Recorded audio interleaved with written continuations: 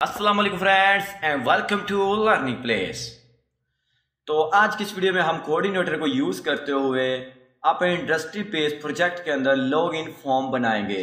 तो last video में हमने यूज़र का रजिस्ट्रेशन फॉर्म यानी साइन अप फॉर्म बना लिया था। तो अब हमने क्या करना है कि वो यूज़र को लॉग इन कराना है इंडस्ट्री बेस्ड प्रोजेक्ट के अंदर। तो वीडियो को लास्ट तक ज़रूर देखिएगा।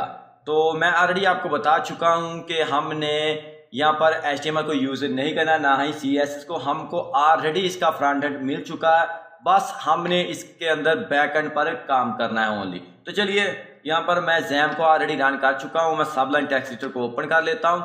तो हमें क्या करना है सबसे पहले? हमने लॉगिन फॉर्म लेके आना है। तो लॉगिन फॉर्म हमने वीडियो के स्टार्ट में आपको बताया था कि एसेट्स के फोल्डर के अंदर हमने यहाँ पर रखा हुआ है उसका। फ्रंट एंड पेज तो लॉगिन के अंदर चलते हैं, यहाँ पर लाइट पर क्लिक करेंगे और लॉगिन ये सारा का सारा हम यहाँ से कॉपी कर लेंगे कोड और अब हमने क्या करना है? इसको हम हिडन करते हैं ऐप्स के अंदर जाएँगे एप्लीकेशन के.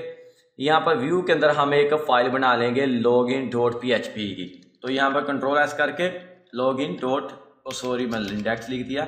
Log in dot P H P तो इसको हम यहाँ पर पेस्ट कर देंगे. तो पेस्ट करने के बाद इसको सेव करेंगे.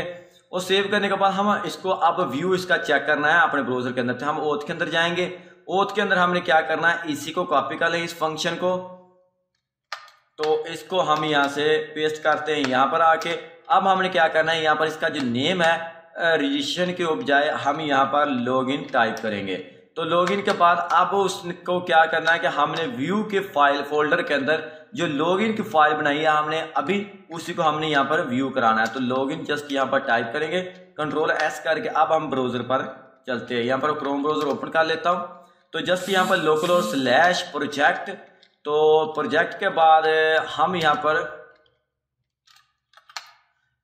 ओथ के अंदर लॉगिन पर जाएँगे। तो हम यहाँ पर टाइप करते हैं लॉगिन तो जैसे मैं यहाँ पर लॉगिन पर टाइप करता हूँ तो अब हम लॉगिन के अंदर आ चुके हैं। लेकिन इसकी डिज़ाइनिंग वगैरह ठीक नहीं आ रही, क्योंकि हमने यहाँ पर इसका जो बेस फ़ाइल है वो अटैच नहीं की। तो बेस फ़ाइल अटैच करने के लिए हम क्या करेंगे यहाँ पर? ये कोड हमको ऑलरेडी मिल चुका है, कि बजाय हम दोबारा रिपीट करें, हम यहाँ पर जाएँगे रजिस्ट्रेशन की फ़ाइल के अंदर, और यहाँ पर देखिए, हमने यहाँ पर दो फ़ाइल अटैच की गई हैं। हमने की हैं हेड और मोबाइल मेन्यू की। इसको कॉपी कर लेंगे, और यहाँ पर देखिएगा बॉडी से पहले पहले ये फ़ाइल हमने पेस्ट करनी है और बॉडी के ऊपर जो भी कोड है रिमूव करना है। यहाँ पर देखिए ये बॉडी स्टार्ट हो रही है और जो भी यहाँ पर कोड है सारे का रिमूव करके यहाँ पर इसको पेस्ट करके एस करेंगे कंट्रोल और इसके बाद बॉटम पे आएँगे और बॉटम पे आने के बाद यहाँ पर देखिए begin dark mode switch switch तो इसको यहाँ से कॉपी कर लेंगे यहाँ से और यहाँ पर बॉटम पे आके हम इस ये वाला कोड सारा रिमूव करेंगे। ये यहाँ से स्टार्ट करते हैं। और यहाँ इसको आके सेलेक्ट करके पेस्ट करते हैं। और ये जो है बिगन डार्क मोड इसको हम यहाँ पर से रिमूव कर देंगे। तो इसको हम यहाँ से रिमूव करके कंट्रोल एस करेंगे। अब इसको रिफ्रेश करते हैं। अब आप देखिएगा इसका लॉगिन फॉर्म सक्सेसफुली यहाँ पर आ चुका है। तो आज की इस वीडियो में आपको फ्रंट एंड पेज को कैसे लोड किया था, ये बता रहा हूँ।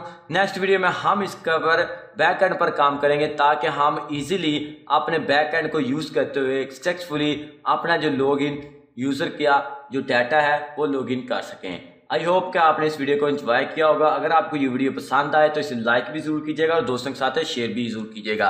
तो आज की वीडियो में इतना ही। तब तक के लिए मुझे दीजिएगा इजाज़त। अल्लाह